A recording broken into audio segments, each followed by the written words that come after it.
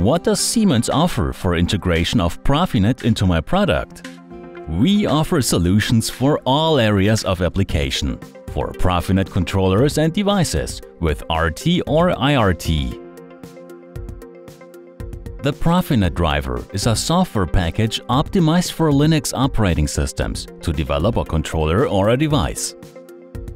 For Profinet RT, even independent of the used Ethernet hardware, the Enhanced Real-Time Ethernet Controller, ERTEC for short, from Siemens is ideally suited for developing Profinet field devices for drive technology, factory automation and the process industry.